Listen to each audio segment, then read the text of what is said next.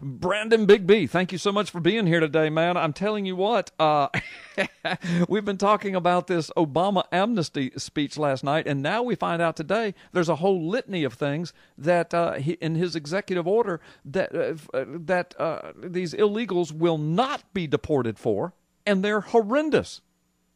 Yeah, you know it's amazing, and I'm looking at that list. It's, it's headlines on Drudge right now, but drunk drivers, sex abusers, drug dealers, and gun offenders. Now, can I tell you exactly why three of those are not on the government priority list to deport? Okay, tell us.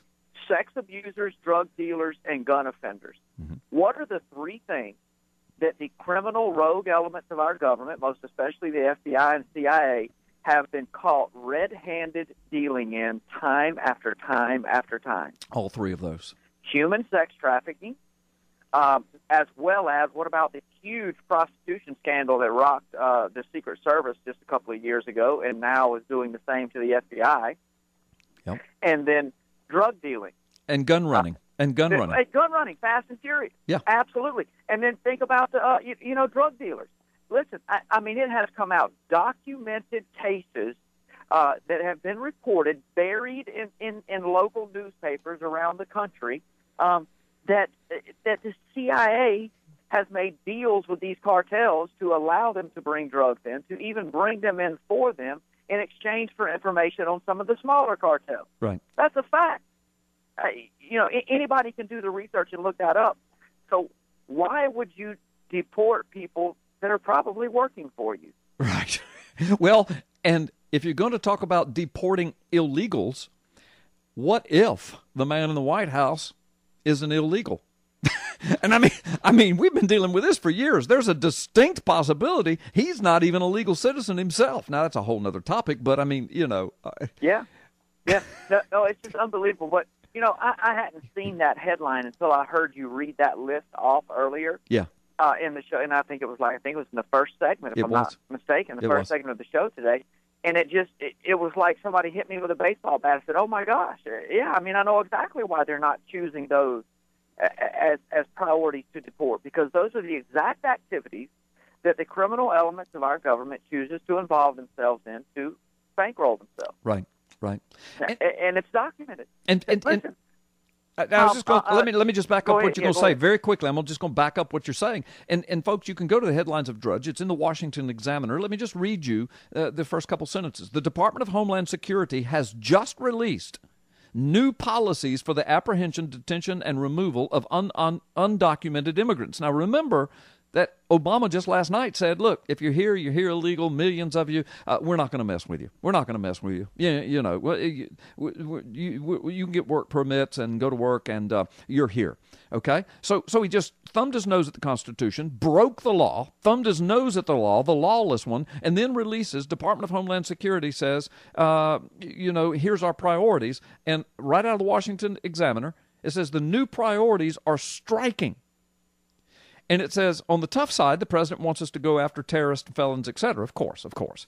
On the not so tough side, the new law says convicted drunk drivers, convicted sex abusers, convicted drug dealers, and convicted gun offenders are low level priorities, Brandon. Yeah. Low level priorities. It's unbelievable. But uh, again, like I said, listen, when you're known for dealing in those activities, uh, and for sponsoring those activities and supporting those activities. And why, why would that be a priority for you to try and rid this country of those activities? Yeah. If that's how you, you know, that's Yeah. how you make your living. You, you know, So, and I, I was just, it, it's unbelievable. This man, and, and listen, you know, think about this because we know this is how the system works.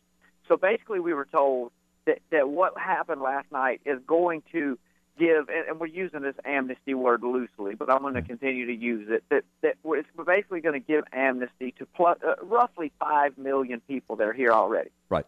Here's the thing: if they're telling us five million, I will guarantee you that within 12 months we'll find out that the number is 10 times that. Oh yeah, I, you, you know you, you're right about that. And I'm just looking again at this Washington Examiner article, and what they're saying is what what, what Obama's doing. These five million people, under what he's doing, his executive orders, they will be given work permits, social security numbers, and protection from deportation. But I like Yeah. what Dr. Gray said in the last segment, and you, and you were listening to that, and we were talking about that. She said, But you know, if I were an illegal, I'd be terrified of this because I'm going to go get a work permit. I'm going to give them all my information. I'm going to get a social security number. And okay, I've got protection under Obama. But the next president that comes in, now they know exactly where I live, exactly who I am, and how to find me. And Yeah. I, I mean, you know, if you're an illegal, I mean, just put yourself in their position. It's pretty precarious, actually. Well, but the question is, eh, you know, and I agree. I mean, if you have the re- the, the capability to reason and think that through, but do these people even know and understand that that's how how, how Yeah. executive orders and executive office work know, in this I know, country? I know. Probably not. Yeah, most So, most most but, most know, citizens don't. You know, it, it, it's just unbelievable how, how he continues to trample on this, uh, you know, on this country and on this Constitution. But you know, let, let me flip let me flip the script here just a second because you know, we've seen this this rash of, of establishment Republicans come out today. Um, oh, we can't use this for impeachment. We can't use this for impeachment. We can't use this for impeachment. And the reason that they're giving is because that would then bolster Hillary's position in 2016. It would make the Republicans out to be the bad guys. My my my answer to that is anybody, Republican or Democrat, that's in the Congress or the Senate right now that does not uh, that does not seek to impeach this man should immediately be tried for treason. Immediately. And here's why I say that. Do you know what the def- the dictionary Webster's dictionary definition for treason is? The number the, the one uh, first definition when you look up the word treason is simply this: the betrayal of a trust. Thank you. That's a dictionary definition Yeah. of treason. And so, what's the See, betrayal? when What's the betrayal? What's the betrayal of trust?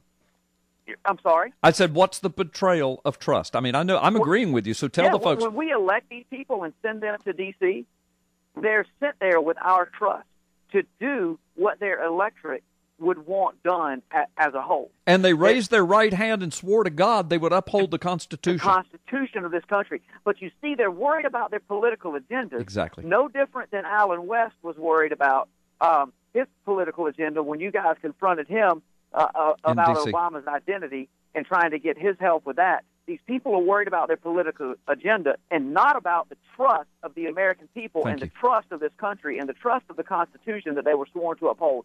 Thank you. Every single one of them, and that includes Ted Cruz and Rand Paul, two men that I constantly stand up for because they stand up for this country. If they don't push for impeachment, they should all be tried for treason for the maximum penalty, and we all know what that is. Absolutely, and they exactly, and they they they've got to do the right thing. They've got to uphold the trust of their office. They've got to defend this Constitution because if we let the constitutional republic just fall down and crumble around its ears, we will be a banana republic. I've got a 16 year old grandson, folks, and I want my 16 year old grandson to grow up in a constitutional republic because what are the alternatives?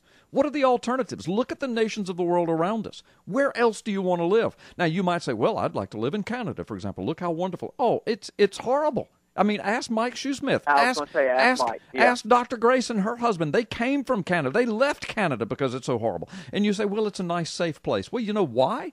They don't even have hardly a, a, a military. They hardly have a defense budget because the United Because. States, we That's right. defend them. So, That's right. I mean, think of the nations of the world that depend upon us to defend them. What if America as we know it goes away? Where do you want to live in this God forsaken, sin filled world in those dark days? Where do you want to live? Folks, I'm trying to preserve the constitutional republic.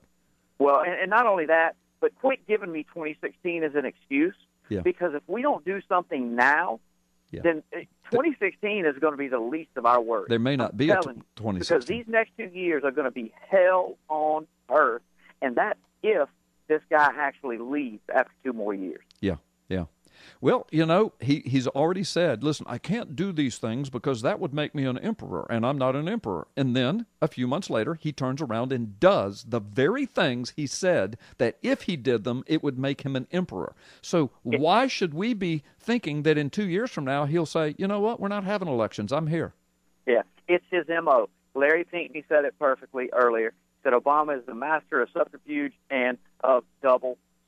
In Yeah. other words, of lying and of lawlessness and of throwing truth to the ground. You know what? Let's take a time out. When we come back, let's talk about that lawlessness and how it connects back to Gruber and some of those re- latest revelations. Okay, Brandon? Let's go back to the phone because Brandon Big B is here. Um, Brandon, so uh, so talk about the lawless one and some uh, some some of the very latest on this Jonathan Gruber deal.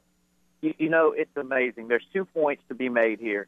Um, you know, of course, Jonathan Gruber, an MIT professor, um, one of the people that helped to write and frame and architect Obamacare, as well as Romney Care. mm-hmm. Oh, wow. Okay. So, you know, to all of those people who have screamed for the last several years that how much better off the United States would have been if Mitt Romney had been president, and and, and oh my goodness, things would just be hunky dory and lovely. Mitt Romney was nothing more than Barack Obama with white skin. That's yeah. why he's not in there because a white man couldn't have gotten away with the stuff that that uh, Obama has simply because of the color of his skin. If you think I'm crazy, ask Larry Pinkney the same question, right? And he'll tell you. But you know, we have video of Mitt Romney praising Jonathan Gruber this week. Yeah. Uh, in 2006, and this video has just resurfaced praising Gruber for his genius and and helping to author Romney Care which basically we know was used as the framework of Obamacare. Right. Okay? But, so uh, this video surfaces of Gruber in his classroom uh, saying that, uh, that the, the uh, stupidity of the American voter is the reason that there can't be transparency in politics. In other words, that, it, that, that the American public is easily fooled. You just lie to them well, yes, you can. If you like your doctor, you can keep your doctor. Your rates will go down. They certainly won't go up. All of these things that we know were now out and out lies about and, this Obamacare. And people like um, you and me, we told people while they were telling the lies. We told people, folks, they are lying to you. They are yeah. lying to you. And we were called racist and idiots and bigots. But now, we were right. Yeah. So this video surfaces of Gruber's, and basically he just admits everything. He just says, "Yeah, we had to lie to the American public. We had to tell them all this because there's no way you could have told everybody the truth, and then this thing would have passed. You know, that would have been impossible." Right. So transparency in politics, or a lack of transparency in politics, he says, is a good thing. Right. So immediately the White House has to go into damage control, and this just blew me away. I'm listening to Obama. I'm listening to that demon inside of him speak, and he says that we really don't need to go back and debate the health care law because, and this is what he said, I kid you not, he says, because every aspect of the law was debated in full in order for it to be passed. Oh wow! That's what he said. What? Wait. Now, what did Nancy? It immediately brought visions of that demonic witch. Thank Nancy you, Nancy Pelosi. Thank you. We have to pass the bill so that we can see what's in the bill. You're right. I remember you even sounded like her. That was scary. so which one is? Yeah, I just channeled her. Right? I know you did. You did. That, that same yeah. demon just went through you, man. I mean, because as, while you were talking, I was thinking if he said that. What did Nancy Pelosi say? So, so he called Pelosi a liar, or Pelosi called him a liar, and Gruber's calling them all liars and calling yeah. us stupid.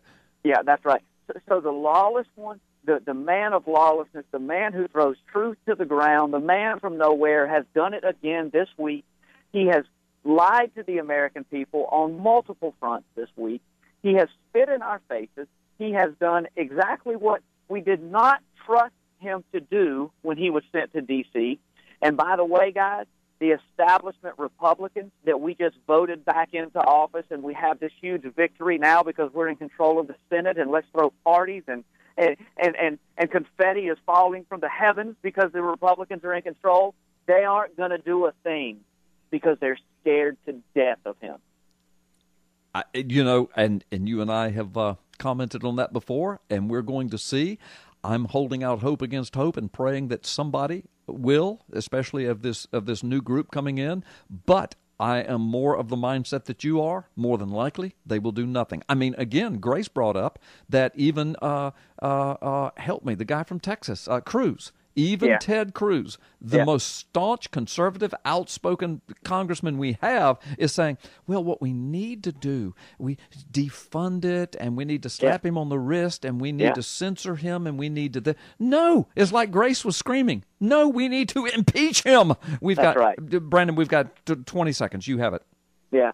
Uh, Listen, and all this, you know, it sounds negative, and it is, and it's unfortunate. We have to talk about it, but listen, we have to remember that it's our job, it's the American people, to inform ourselves, to educate ourselves, to spread the word to others. It's our job as Christians in these last days to stand up and proclaim the truth like before because people need to know, people want to know the truth. They want to know that there's a way out of all this madness, and there is, and it's Jesus Christ, and that's the way I'm going to end. Thank you. I appreciate it. Ending it that way. And folks, we're going to end by saying God bless you, and may God please bless America. We'll see you next Friday.